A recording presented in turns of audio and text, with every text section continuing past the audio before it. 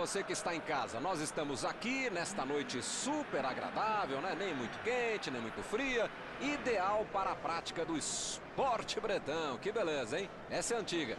A torcida está fazendo a sua festa, cantando, apoiando sem parar. Os técnicos prometeram duas equipes bem ofensivas para o jogo de hoje. E as escalações dos times parecem confirmar esta opção pelo ataque. Tomara que a gente tenha uma partida realmente emocionante. Este estádio é o cenário perfeito para os jogadores desfilarem todo o seu futebol. Recebemos agora a confirmação de que a equipe vai jogar em um 4-5-1. Depende das características dos jogadores para saber se um 4-5-1 é defensivo. Com a bola eles podem transformar facilmente num 4-3-3, mas também não adianta você amontoar um monte de gente na frente se não tiver qualidade, se não tiver inteligência e principalmente organização. E organização não é só para defender, é também para criar. O 4-5-1 pode ser sim um esquema muito interessante e muito flexível.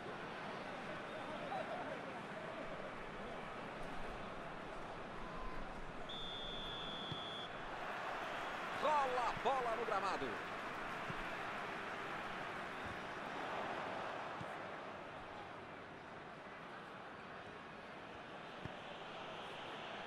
Rafinha.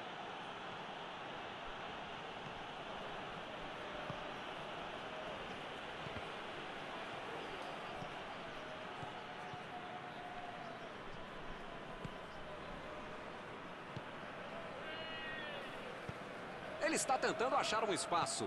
Tomou a bola na hora certa. A virada de jogo. Rafinha.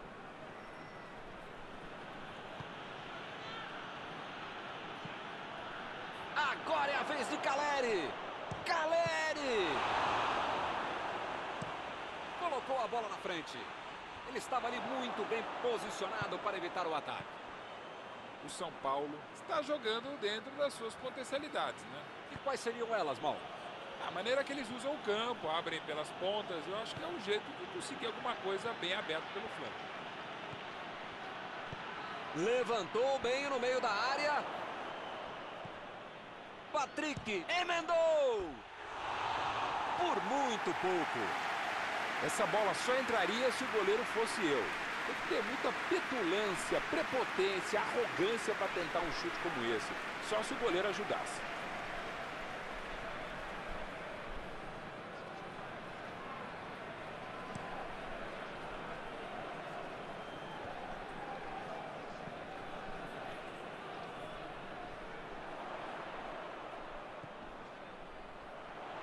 Procurou alguém ali na frente. Aí, é uma grande chance pela...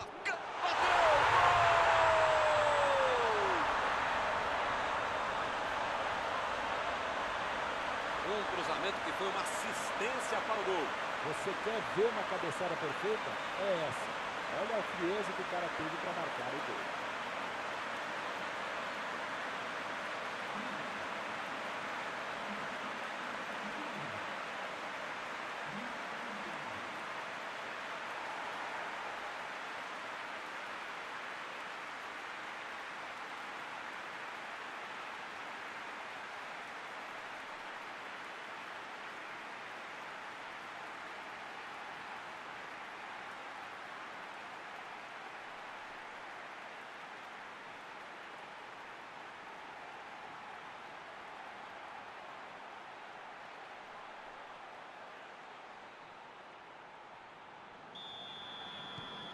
Caminho aberto, 1 a 0. Com a vantagem no placar, jogou a pressão para o outro lado.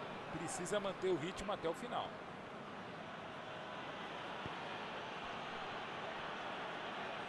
Partiu para frente pela ponta esquerda. Lançamento por entre a defesa. E é escanteio.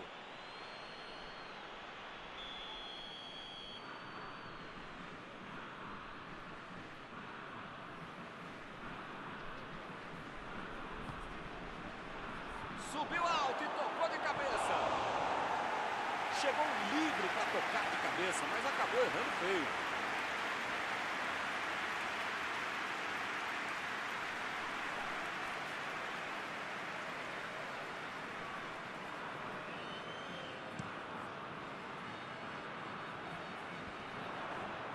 Chegou na marcação e recuperou a bola. Metida de bola ali para o companheiro.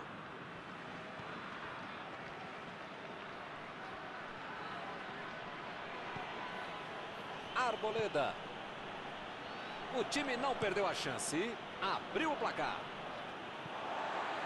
Passe muito longo, não vai ter devolução.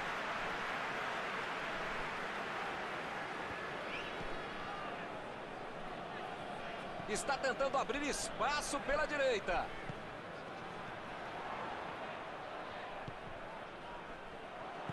Lançou ali, pertinho da bandeirinha.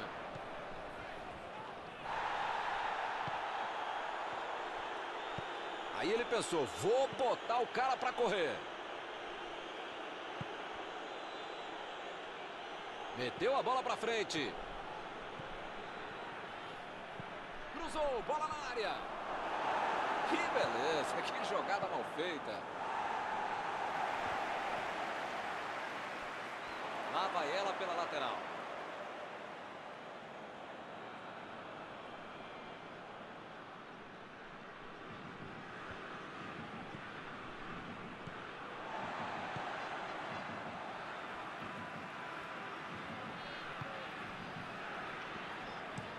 Abriu o jogo lá na direita.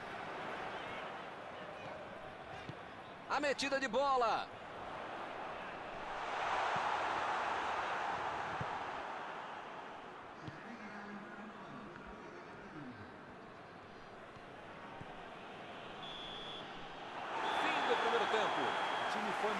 Jogou melhor, é mais time. A questão só agora é tentar manter o pique e manter o ritmo. Somente um gol no primeiro tempo. Vitória magrinha.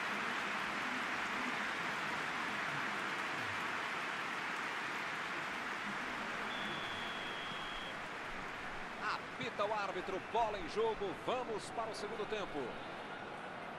O jogo certamente vai ficar bem mais aberto, que é bom para o espetáculo e claro para você que está em casa assistindo. Ele fez a falta. O juiz está certo. O juiz levou só na conversa. Não sai o cartão.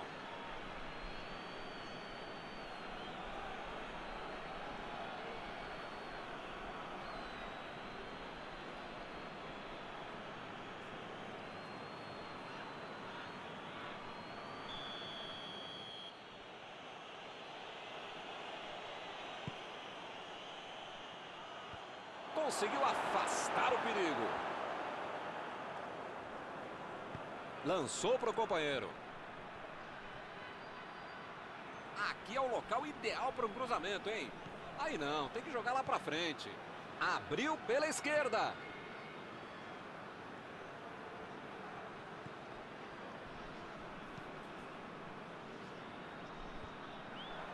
Retomaram a bola na hora.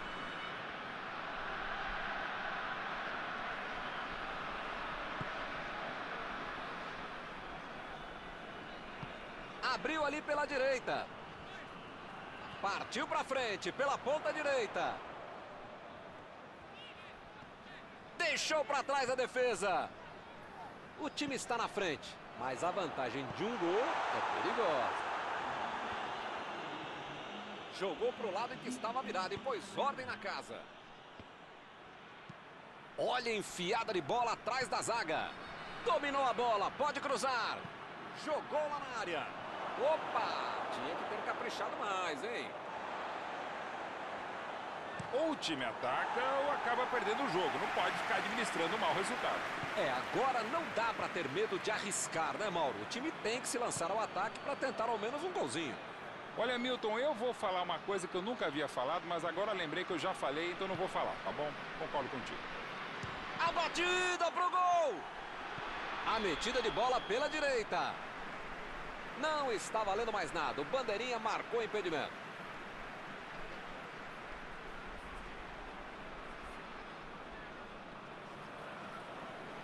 Substituição nos dois times, aproveitando a oportunidade para trazer sangue novo do banco.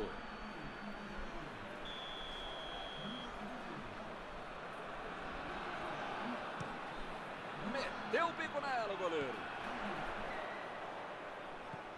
Caleri. Bola enfiada pelo meio da defesa. A posição é muito boa. Ele mandou a bola para frente. Passamos aí pela marca dos 30 minutos do segundo tempo. Bola enfiada entre a marcação. A bola passou. Imagina só se ele fura essa bola.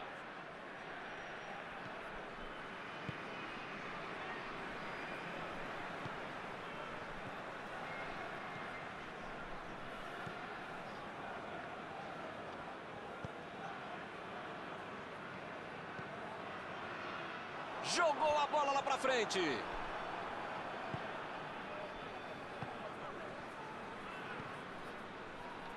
Mandou a bola ali pela esquerda. Lisiero. Belo drible, enganou a marcação. Jogou por cima, ali no meio.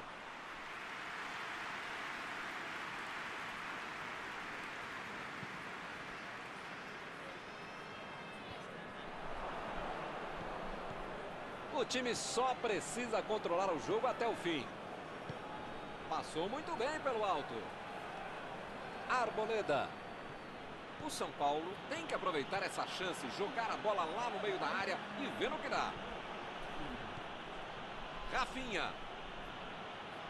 Cruzou agora.